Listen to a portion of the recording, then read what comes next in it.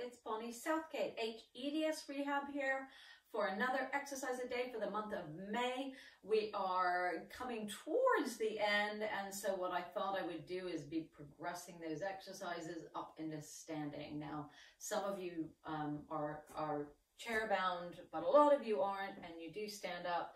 So we are going to look at a leg strengthening exercise. Um, holding onto a chair and a squat and we're just going to look at the little things that you need to think about little tips that you need to think about to make this more successful. So i'm going to start facing my chair with my hands on the chair and what we're going to do is we're going to think about our best posture to begin with. So we want to not be hanging in the back of those knees because I'm not starting from a good place there. So we're going to unlock those knees, which might feel odd and you might feel like you don't know where you are in space. Um, but we're going to start with those knees unlocked and then you're going to feel like you reach your bottom for a chair. So I'm just going to think about moving my hips back and then I'm going to come back up. So we're just going to do that a few times. So I want you to be careful. Now, if I do that, I'm slightly tucked under is different than that. It's not a big movement, but it makes a big difference in how the knees and the ankles feel. So if you are holding your pelvic floor or holding your lower belly and you try and move your hips, you won't be able to really well. So you've got to let all that go. Sometimes if you think about putting your hands um, in a triangle here and you can think about tipping the bottom bit back and you have to allow yourself to move the hips without moving the spine. So I'm not, I'm not arching my lower back to go back.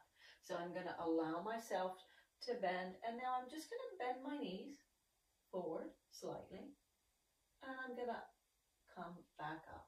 So you can hold on to something if that is easier. I'm going to send those thigh bones back. So the weight's more in my heels now. And then I'm going to let my knees bend and my hips bend and my ankles bend, only to where my knees are super comfortable. And I'm going to come back up. So if I face you for a minute,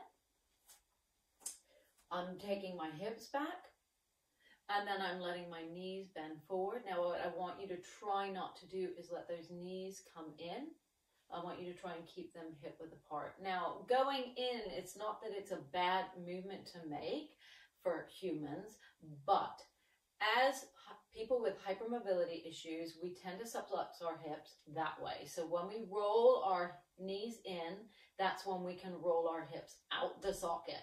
It's not a problem for the general population, but it is for, for those of us with instability in the hip. So we need to keep those knees looking straight forward so we are less likely to sublux. Then we can bend the knee and we bend the ankle. So I keep feeling like my weight is going back a little bit. That's why it's fine to hold on to something. And then coming all the way back up. So that is standing into a squat position. And that is our exercise for today. It's great for strengthening your legs, great for teaching you good movement from the hip and the knee and the ankle. And we will be taking this exercise into a sit to stand. So we're going to make it functional for, um, for our everyday life in our video for tomorrow. So look out for that as well. It is Bonnie Southgate, HEDS Rehab here on an exercise a day for the month of May. And I hope you enjoyed it and have a great day.